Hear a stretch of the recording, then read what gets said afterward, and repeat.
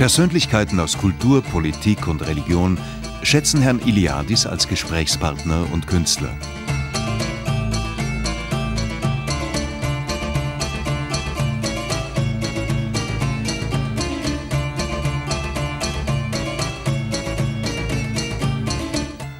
Gerne geht der Mundmaler in Schulen, um den Kindern und Jugendlichen zu zeigen, wie es ohne Hände auch geht, wie man auch als Behinderter erfolgreich sein kann.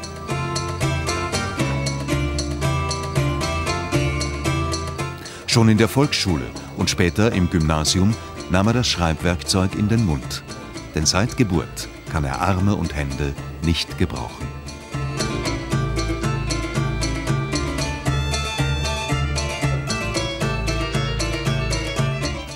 Der künstlerisch sehr begabte Maler geht mit dem Pinsel sanft und behutsam um.